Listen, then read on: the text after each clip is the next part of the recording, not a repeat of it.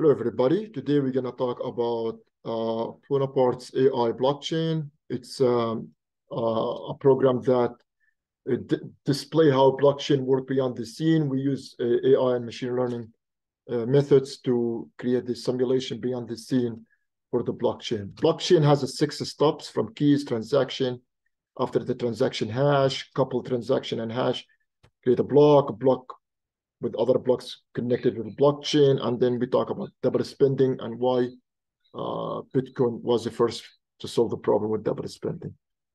My name is Joseph Bonaparte. I'm associate professor in finance and I'm a director for externals.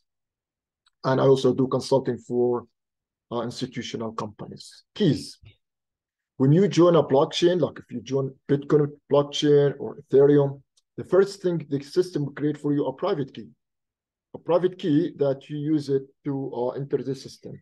Now, the private key that you create, the system create, or you choose, uh, generate also a public key. For example, if your private key is one, two, two, four, five, six, then then you have a public key that the no, people in the blockchain know the public key, but they didn't know your private key. So every time you change a digit here, a different private key, public key generated. If you change a private key to uh, three, for example, here, then a new public key uh, generated. Now the public key is well known across all the nodes or the people in the blockchain, but the private key only you uh, know what is it. After you have a key, you do a transaction.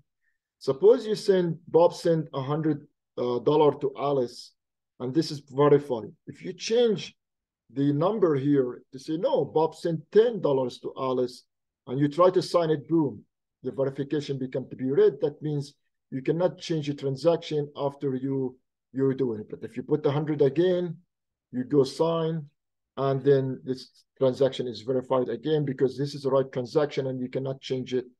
And this is your private key, and this is a signature that you have when you do a transaction, a signature comes. Hash. Suppose hash is basically when you have a transaction, the system create a hash. For example, uh, Yosef sent 10 ether to Sophia. So this message create a hash. Now, if I change a message and I say Yosef sent 12 Ethereum to Sophia or Bitcoin or Dogecoin or any, any coin, a different hash created. I'm talking about the same blockchain. Now, and I'm assuming we are on Ethereum blockchain. So it will be Ethereum. Now, uh, after the hash is created, you can do other messages also, but let's stop here, go to the block. What is that block? We hear a blockchain, but what's a block? And then we go to blockchain. block has a number, number one, and a blockchain start with the block number one. The cryptographic key, cryptographic key, the goal of this is to protect and secure uh, the data. Then you have a data, like Joseph sent 10 ether to Sophia. And then you have a hash for the block. So the hash has to start with four zeros. So what you do, you do mining. When you mine it, boom, you get zero, zero, zero, zero. So that means this block is already mined. Now, if you change the uh, cryptographic to a different number, then mine it, it takes you back to the original one. If you change it to eight, doesn't work. Uh, three, for example, doesn't work. But if you put zero, okay. So that is the cryptographic key right for this transaction. That's a block. Blockchain is blockchain means a block and another block, and you chain them. So how does that work? Uh, block number one, this is a block number one, cryptographic key. The data, for example, Joseph sent 20 ether to Josephine. So that's a data using the SHA-256 technology the previous hash for the first block is zeros because this is the first block, but the previous hash for other blocks is not zeros. Just only the first block will have zeros, and then you have a hash but there are no four zeros in the beginning. Mine, boom. Now you get zero, zero, zero, zero. This, this block is uh, not mined. Now notice this hash become to be the previous hash for the second blockchain, and that's the block chain. The chain coming from the hash of the first block become to be a previous hash for second block. Mine it, and this hash become to be a previous hash for the next. Mine it.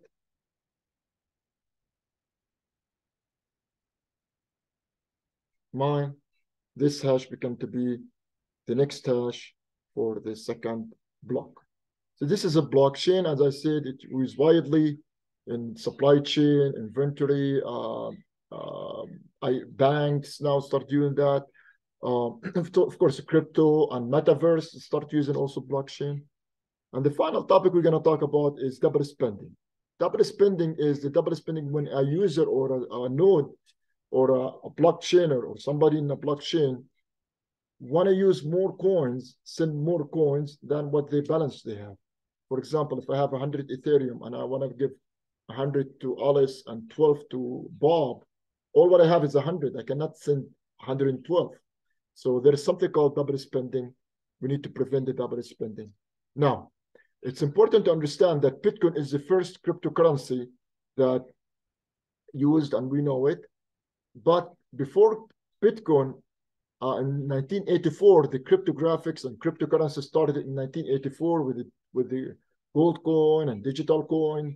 There are other products, but none of them survived because the problem of double spending. That means somebody has a spend more coins than that they have.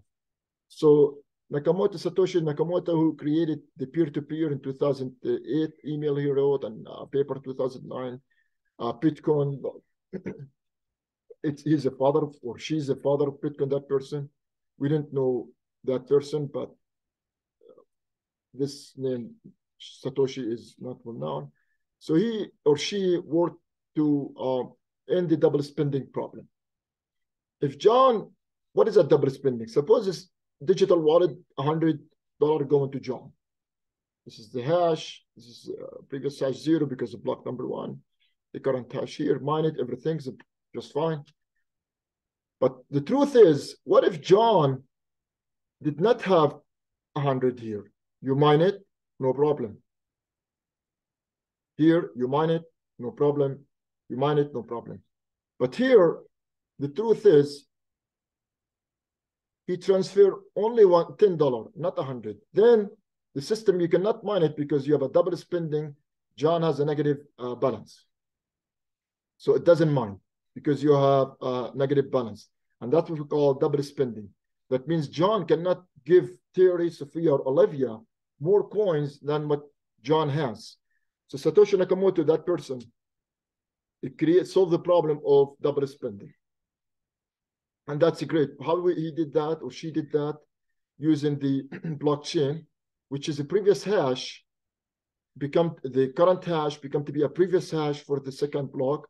And here the system say, okay, John has only one dollar in the first block or the block before. So and now we John got another 10. So she or he cannot uh, spend more uh, because double spending. If, if the system here said John has 100, then you mine it, and then you mine this, no problem, no double spending.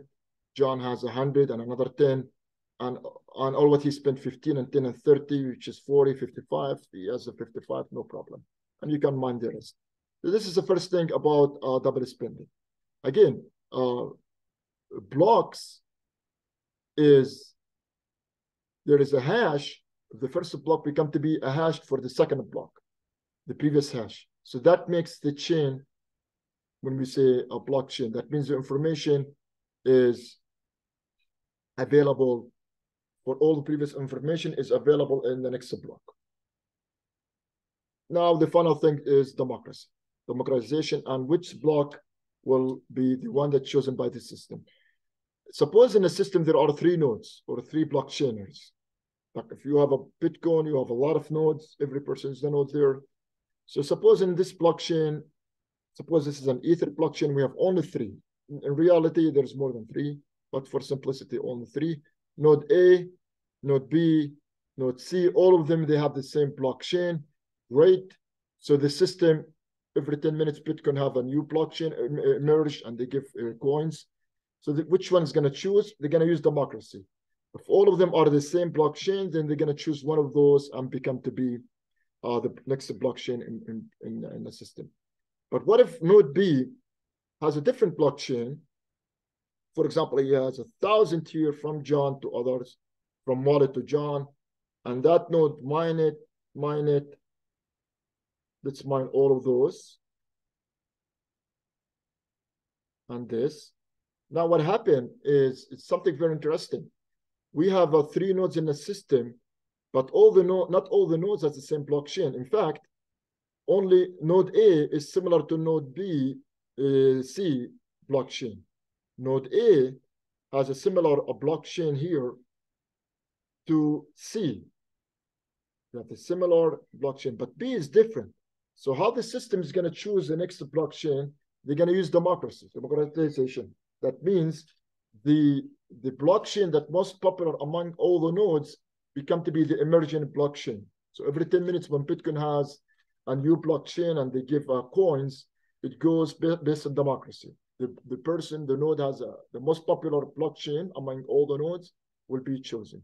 And that's all what you need to know about blockchain from key transaction hash, block blockchain, double spending problem, and the next how to emerge the next block. I hope you enjoy this video and give us comment in YouTube. And thank you so much for your time.